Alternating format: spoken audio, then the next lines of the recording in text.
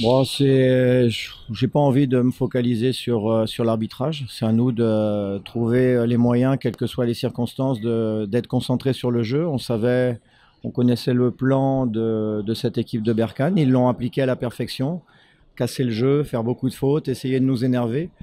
Où je suis surpris et pas content, c'est que justement ils ont réussi. Ils ont, on savait qu'ils allaient ce qu'ils allaient faire, ils ont réussi. Donc euh, J'aurais préféré qu'on soit beaucoup plus euh, concentré sur notre capacité à faire du jeu que de perdre le fil du match et de s'énerver comme on l'a fait.